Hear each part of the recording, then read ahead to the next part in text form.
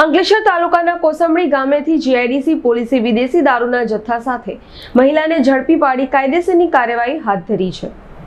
Police સૂત્રે માહિતી મુજબ Ankleshwar JDC પોલીસને કુસમડી ગામના ટેકરા ફળિયામાં રહેતી તેજલબેન વસાવા પોતાના ઘરમાં વિદેશી દારૂ સંટાળીને વેચાણ કરી રહી હોવાની માહિતી મળી હતી.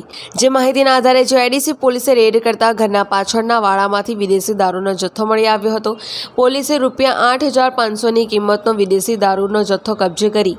તેજલબેન વસાવાની ધરપકડ કરી ગુનો નોંધી વધુ તપાસ હાથ ધરી છે. પિન્ટુ મોદી, જનસાક્ષી ન્યૂઝ અંકલેશ્વર.